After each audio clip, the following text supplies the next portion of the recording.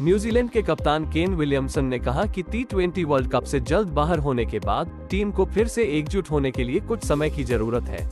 उन्होंने साथ ही 2026 में इस प्रतिष्ठित टूर्नामेंट में अपनी वापसी को लेकर कोई प्रतिबद्धता नहीं जताई। जब विलियमसन से पूछा गया कि क्या वे 2026 के टूर्नामेंट में वापसी करेंगे तो उन्होंने कहा, ओह, मुझे नहीं पता। न्यूजीलैंड का अभियान पापुआ न्यू गिनी पर सात विकेट की आसान जीत के साथ समाप्त हुआ। विलियमसन ने कहा अभी और तब के बीच थोड़ा समय है इसलिए यह एक टीम के रूप में फिर से एकजुट होना है। और हाँ हमें अगले साल मुख्य रूप से रेड बॉल का क्रिकेट खेलना है। अन्य फॉर्मेट में इंटरनेशनल क्रिकेट खेलूँगा और फिर देखता हूँ कि चीज़ें कैसे रहती है। ये वास्तव में अनोखा रहा है सभी लोगों के लिए एक अनूठा अनुभव। मुझे लगता है कि बल्लेबाजों के लिए परिस्थितियाँ चुनौतीपूर्ण रही हैं, लेकिन ये बस एक रास्ता खोजने की कोशिश करने के बारे में है।